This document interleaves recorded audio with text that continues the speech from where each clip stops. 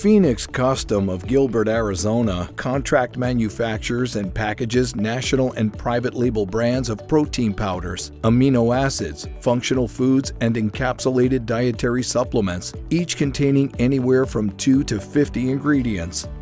Existing mixers were unable to output the 150 plus tons per month needed to expand the operation, so the general manager installed a rotary batch mixer from Munson Machinery. He says volume is up fivefold, labor is down by half, airborne dust is down 90%, homogeneous blends are achieved in less than 6 minutes, and 9-month production backlogs were cleared within 60 days. Ingredients are loaded through the stationary inlet of the mixer while the vessel rotates.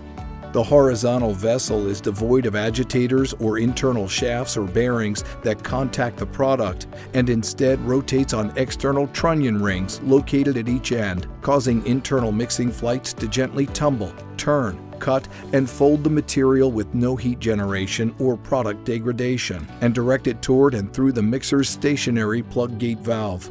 He says the staff is getting 100% of the product out of the mixer, and blend homogeneity has gotten much better, with zero problems. With a capacity of 90 cubic feet or 2,549 liters, the mixer is larger and faster to load and discharge than an existing conical blender, while producing homogeneous blends more quickly and with less dust.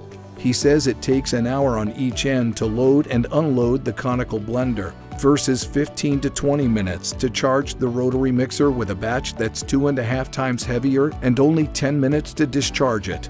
The company, which complies with CGMP regulations and HACCP procedures, cleans and test swabs the equipment in about three hours, most of which is drying time.